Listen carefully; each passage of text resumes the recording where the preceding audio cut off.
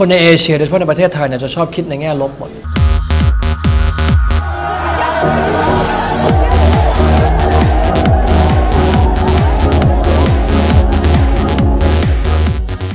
เวลามีคนวิจารณ์ฟุตบอลกันในอินเทอร์เน็ตหรืออะไร ผมเห็นแล้วผมก็จะไม่ค่อยสบายใจ ผมทำกีฬามาเนี่ยผมไม่กล้าที่จะวิจารณ์นักกีฬาแบบนั้นเลย เพราะว่าผมรู้ว่าผมไม่มีความสามารถเท่าเขาอะผมทำได้เพียงแค่นำสิ่งที่เขาทำในสนามมาเรียนให้กับทางด้านท่านผู้ชม เรื่องราวที่ผมมั่นใจเลยนะครับ ว่าวันนี้จะเพิ่มกำลังใจให้คุณผู้ชมสู้ คนไทยก็บางส่วนบอกว่ายังไม่อยากดูบอลไทยมาก เพราะว่าฝีเท้ายังอาจจะไม่สามารถสู้ยุโรปได้ คือผมพยายามจะนำเสนอข้อมูลในเชิงบวกนะครับคือผมเชื่อในเกมกีฬาทุกคนอยากชนะหมดอะ แต่ปัจจุบันคนจะคิดว่าคนชนะคือเจ๋ง คนแพ้คือล้มเหลวอะ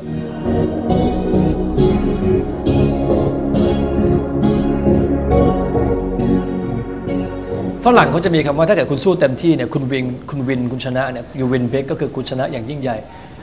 เวลาคุณแพ้ you lose big ก็คือคุณแพ้อย่างน่าอย่างน่าภูมิใจ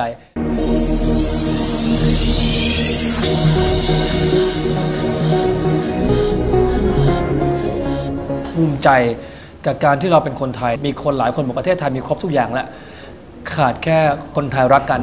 แล้วก็คนไทยที่พร้อมจะทำประโยชน์ให้กับส่วนรวมเหนือกว่าประโยชน์ส่วนตน